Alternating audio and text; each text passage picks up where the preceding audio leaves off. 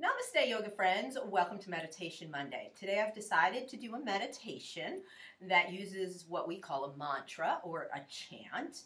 And this comes from a very well known psychic out there called James Van Praagh. I've changed just one of the words. Um, it did not work uh, with working with children. You can use your hands if you'd like, or you can leave them just down low. Um, but we're going to start out down here saying, I am healthy. I am happy. I am whole. I am healthy. I am happy. I am whole. If you prefer to use your hands, I am healthy. I am happy. I am whole.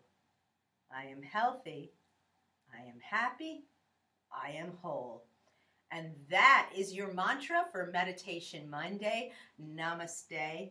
Have a great yoga day.